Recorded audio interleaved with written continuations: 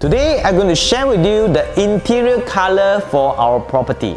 A common question being asked is that what sort of color is good for me in the living hall and what color is good for the bedroom? The answer is pretty simple. The place that we move a lot is considered yang, that is what they call living hall, the kitchen and the dining area. Usually in this area, it is good to use bright color, in any bright color. However, in some cases, due to the design, we have one feature wall which is in a darker color that is acceptable.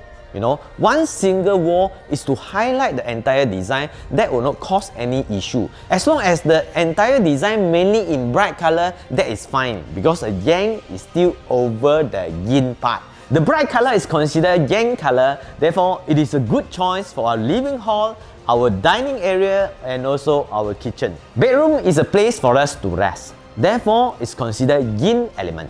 Whereas the yin considered soft. Therefore, the good color selection for our bedroom is soft color or slightly dark color. However, there are many Chinese, we don't like the dark color in the bedroom.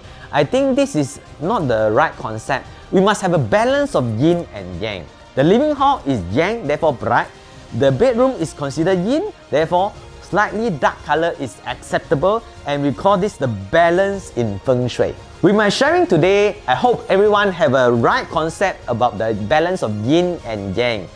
Choose the right color for your living hall and choose the right color for your bedroom.